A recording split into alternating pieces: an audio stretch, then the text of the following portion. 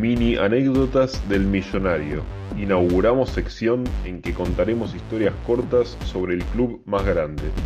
Hoy, Ángel Labruna le patea penales a Ubaldo Filión.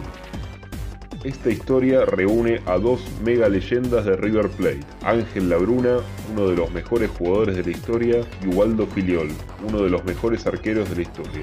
Corrían los años 70. Labruna ya era director técnico de River. Filiol había sido comprado por River a Racing y tenía la marca de mayor cantidad de penales atajados en un solo torneo, y al millonario llegó con la fama de ataja penales. Cuando Labruna lo conoció, le dijo, Venga, filiol, me contaron que usted ataja muchos penales. ¿Usted sería tan amable de permitirme que le patee cinco penales? Si usted me ataja uno, le doy un premio. Es más, si usted me adivina a qué palo va tan solo, haga de cuenta que me lo atajó. Filiol al principio se negó, pero luego aceptó.